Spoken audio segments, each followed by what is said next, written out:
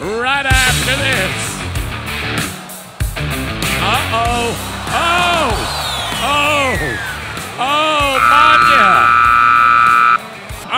Oh, my goodness, Brett! He's pink. Oh, never quit, watch never quit. this replay, Ricky. Ladies and gentlemen, I want you to watch the kid. As I said, Brett Monea, now watch him. He's going to step in to save. Oops. Not once, but twice.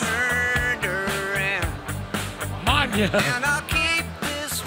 Tell me, what in the world are you thinking, son?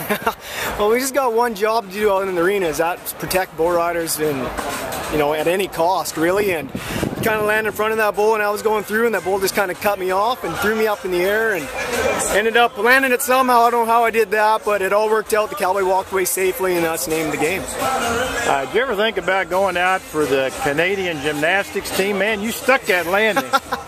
No, I never thought about that, but I think I'll stick to bullfighting. I love the sport and uh, yeah, I wouldn't trade it for anything. All right, great job, man. Thank you very much.